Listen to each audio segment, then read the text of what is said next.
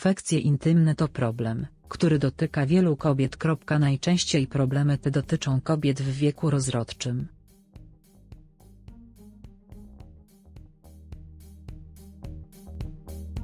Zdarzają się także podczas ciąży. Mimo, że infekcje intymne mogą mieć charakter bezobjawowy to najczęściej pojawiają się charakterystyczne objawy takie jak upławy czy świąt.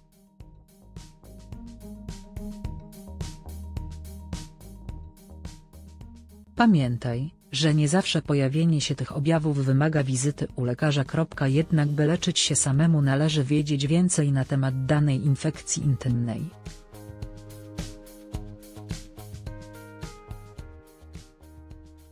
Trzeba wiedzieć ile powinno trwać leczenie i jak odróżnić zakażenie bakteryjne od grzybiczego.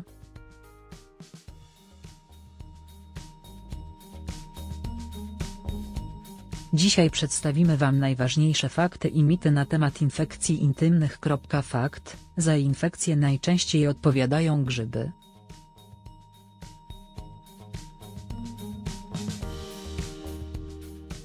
To prawda, że najczęściej infekcje wywołują Candida albicans. Zamieszkują one nasz organizm w liczbie niezagrażającej naszemu zdrowiu.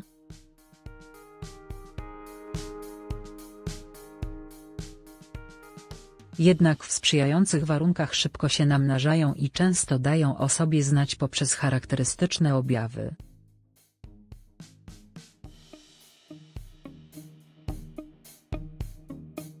Jeżeli chodzi o objawy grzybiczej infekcji to należą do nich upławy o serowatej konsystencji.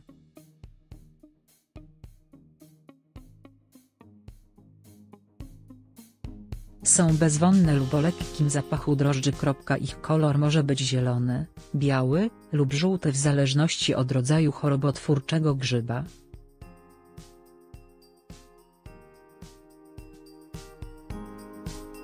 W takim przypadku dokucza nam także pieczenie oraz świąt. Infekcja bakteryjna objawia się biało-szarymi upławami o nieprzyjemnym rybim zapachu.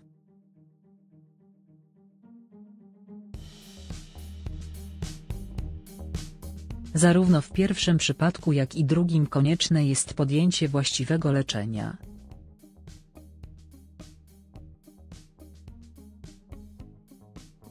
Fakt, partner również powinien poddać się leczeniu. Jeżeli kobieta jest aktywna seksualnie, a infekcje intymne nawracają to można podejrzewać, że cały czas zaraża się od swojego partnera.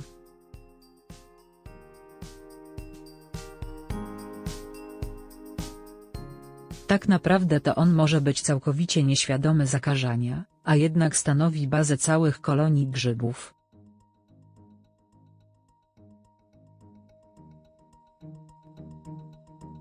To bardzo ważne, aby leczeniu poddała się para, a nie tylko kobieta.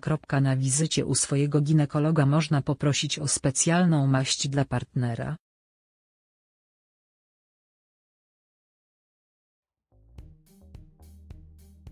Fakt, dieta i rodzaj bielizny mają wpływ na pojawienie się infekcji. Zarówno dieta jak i rodzaj ubieranej przez nas bielizny mają wpływ na pojawienie się infekcji intymnych.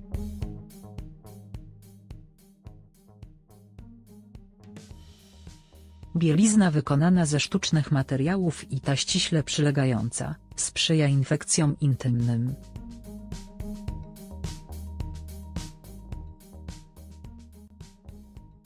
Podobnie stringi też mogą mieć niekorzystny wpływ na nasze zdrowie. Zaleca się na co dzień chodzić w bawełnianych majtkach, które pozwolą na cyrkulację powietrza, a także nie podrażnią naszej skóry.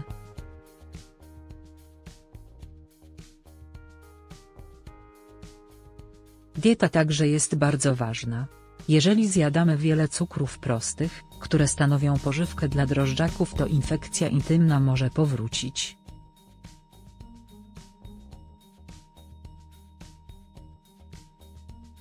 Ze swojej diety należy wykluczyć słodycze, biały ryż, białe pieczywo oraz wszystkie słodkie napoje.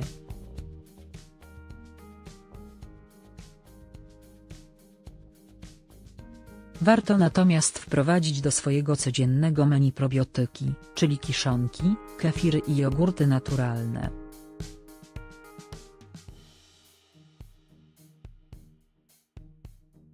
MIT, podstawą leczenia są probiotyki. Sam probiotyk nam nie wystarczy, aby zakażenie zostało zniwelowane.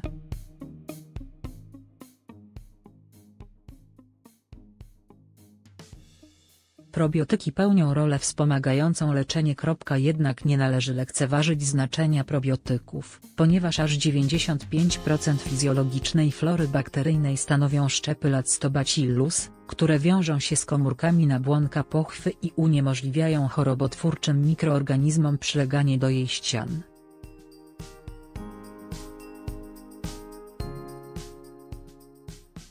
Kwas mlekowy, który powstaje utrzymuje kwaśne pH dróg rodnych, a w takich warunkach patogeny nie mogą się namnażać.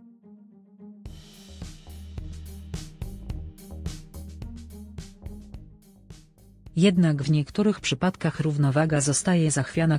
Bakterie oraz grzyby w pochwie mają przewagę.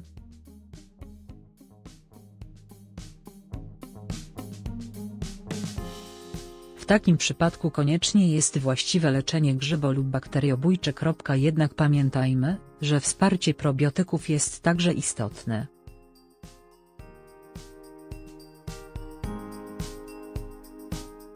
MIT, leczenie pochwy bardzo długo trwa. Pamiętajcie, że jeżeli zakażenie zostanie właściwie wyleczone to ryzyko powrotu choroby jest o wiele mniejsze.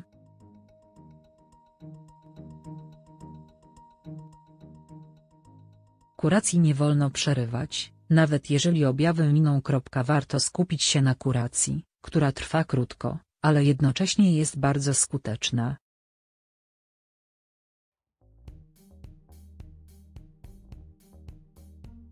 W aptekach dostępny jest pierwszy dopochwowy lek bez recepty, który zawiera fenticonazol.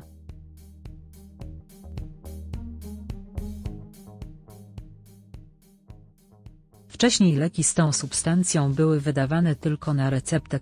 To substancja, która atakuje komórki grzyba i skutecznie blokuje ich namnażanie się.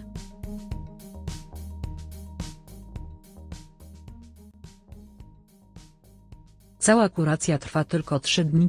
Stosuje się jedną kapsułkę dziennie. MIT, infekcja intymna mija sama i jest niegroźna dla zdrowia.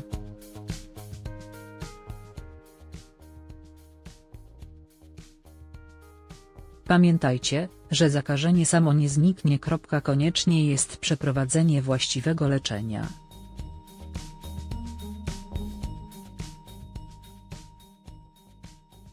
Zarówno infekcja bakteryjna jak i grzybicza może powodować wiele poważnych problemów ze zdrowiem.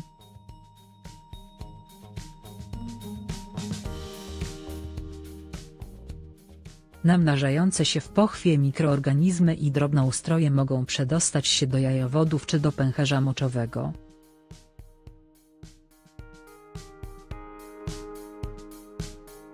Drobnoustroje wytwarzają również toksyny, które mają zły wpływ na układ odpornościowy.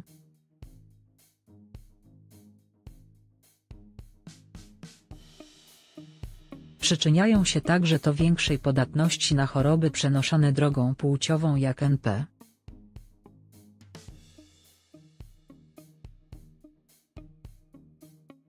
Zakażenie wirusem HIV. Infekcje intymne są szczególnie niebezpieczne dla kobiet w ciąży.